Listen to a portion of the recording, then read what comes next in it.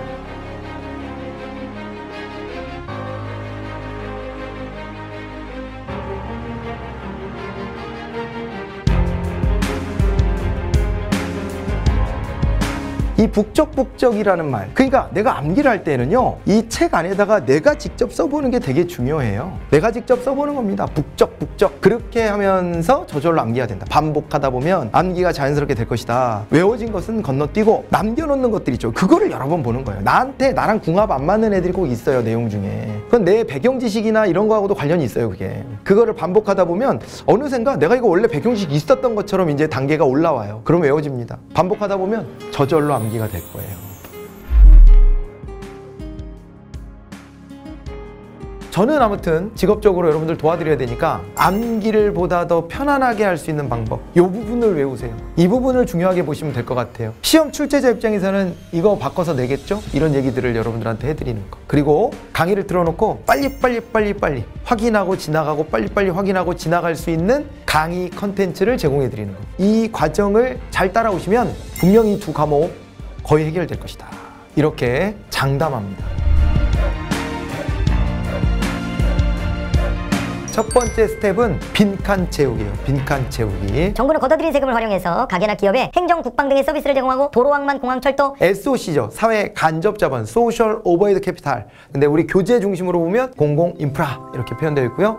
금융 경제 분야에서 바로는 경기 현상이나 투자 결과 등이 기대와 달라지는 정도를 말하고 불확실성 또는 변동성이라고도 한다. 요거를 이제 리스크라고 하죠. 리스크. danger다라고 하면 그거는 우리에게 해만 되는 거예요. 리스크는 적 적당히 우리가 활용하면 우리에게 좋은 결과를 가져다 줄 수 있다. 스텝 2 OX로 답하기입니다. 금융은 개인 간 자금 거래 중개, 거래 비용의 절감, 가계에 대한 자산 관리 수단의 제공, 자금의 공평한 배분, 그리고 이제 금융 위험 관리 수단의 제공 등의 기능을 한다 이렇게 했는데 자금이 공평하게 배분되는 거라고 보기는 어려워요. 이게 공평하다? 아니 그러면은 이게 빈부격차가 오히려 줄어들어야 될 텐데 금융을 통해서 빈부격차가 사실은 줄어들기보다는 좀 늘어나는 경향이 있잖아요. 그래서 자금의 수요자와 공급자를 매개하기 때문에 때문에 능률성, 효율성을 달성하는 데 도움이 되는 것이지 이것이 자금이 공평하게 나눠진다 이렇게 보기는 어려워요. 그 부분을 좀 숨겨놨습니다. 환율이 하락하면 어, 우리나라 수출품이 외화로 표시된 가격이 상승해요. 이게 틀렸어. 그러므로 이게 불리해지는 거예요. 수출이 증가한다 이거 틀렸습니다. 그래서